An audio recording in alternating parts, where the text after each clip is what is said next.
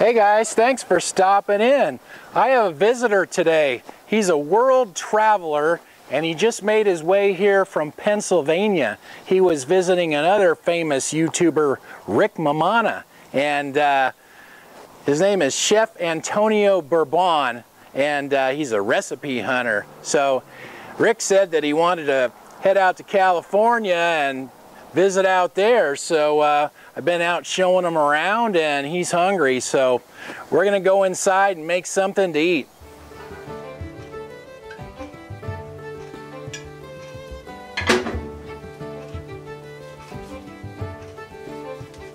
The chef is a little cranky because he wanted a drink and I don't have anything on hand at the moment. So I told him, just let me make something in my toaster oven for you to eat, then you can walk down to the pub.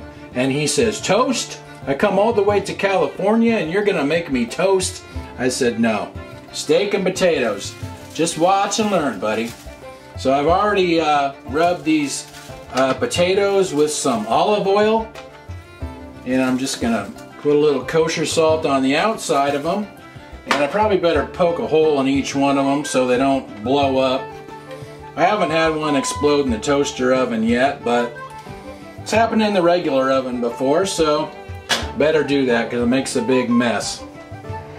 I set my oven to bake at 450 degrees Fahrenheit, and I'm just going to put these potatoes directly on the rack and let these cook until they're soft, probably about 45 minutes to an hour. While those potatoes are baking, I'm going to season my steak here. This is a bone-in New York steak. I'm just going to season it with a little bit of kosher salt and then a little bit of uh, Java and spice rub from my neighbor, the, Sonoma Spice Queen. So uh, just kind of season this with on both sides. Her spices have very little salt, if any, so uh, it's nice. You can use your own salt and you don't uh, have over salted meat that way. You know what? I just thought, got my hand dirty, so uh, I better wash my hand before I uh, stick it back in the seasoning. So I'll go ahead and salt that. I'm going to wash my hand and I'll season the rest of that. It's been about 55 minutes, so I think these taters are probably about done. Oh yeah, they seem nice and soft. We'll get those out and get the steak in there.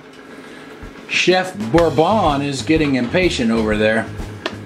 Okay, I'm actually going to broil this steak. People ask why I don't use the broiler very often, and it's real simple. Usually my steaks are too thick to fit underneath it. There's not a whole lot of clearance, but that one fits perfectly, so I'll just let it cook on that side for a few minutes and then flip it over. It's been about five minutes. I'm gonna check this thing. That looks pretty good. I'm gonna turn it over now. Oh yeah. That bone doesn't want to clear that too good. That's a tight squeeze. Okay. There we go. It's been about nine minutes total and the internal temperature of that steak is about 135 degrees. So I'm gonna get it out of there. I steamed some veggies to go with this, but let's see if this steak passes Antonio's approval. Oh, he fell over. You can't see it. Oh no. well gosh, it looks pretty good to me kind of a medium steak. Let me taste it. And then we'll revive him and let him have a look here.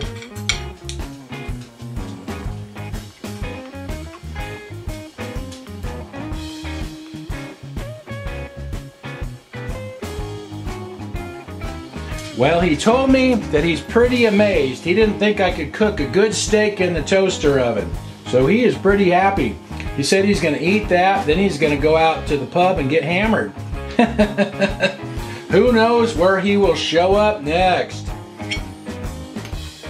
Stay tuned to see which YouTuber he shows up with next. Thanks for watching, you guys, and I'll talk to you next time.